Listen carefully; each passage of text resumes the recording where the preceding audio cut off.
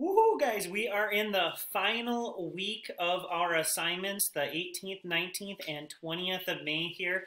This is the field day for reading May 18th.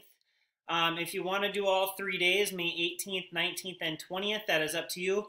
For this one right here, the directions over on the side, it says directions, build a fort, then read in it with a flashlight for 15 minutes. So, for my fort building, I used my dog bed down here because that was really nice. I have my um, chairs all set up around in a nice formation. So now is what I'm going to do.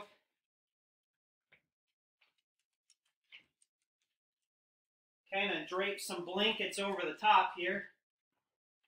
See how nice that is? I kind of got my fort going. Now there's some area in the back. I'm going to cover that up. So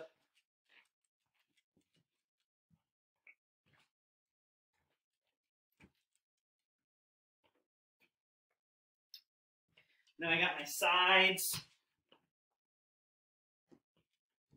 My really awesome fort. Now we're going to read in this fort for 15 minutes. So we're going to want some comfy pillows, you know, for reading in this fort.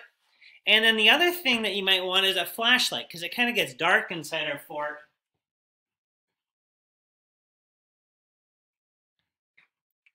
So I got my flashlight here um, for my fort.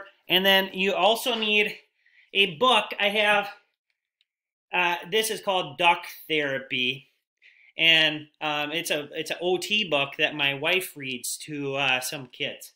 Um, so anyways, I'm going to get into my fort and I'm going to read for 15 minutes.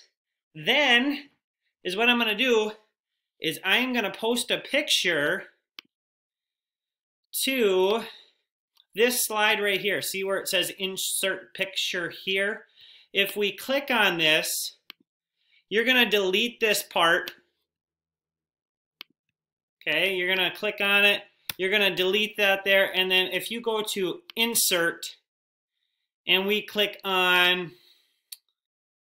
um, image and camera, it's going to ask use your camera. Make sure you click allow. And this might kind of mess up some of my video part, but anyways, click allow and then you can go ahead and just take a picture of this and then you would be all done with that, okay? Um, hopefully you guys have fun. Build that fort. Make it as extravagant as you want. Make it outside, make it inside. It's all up to you. Have fun.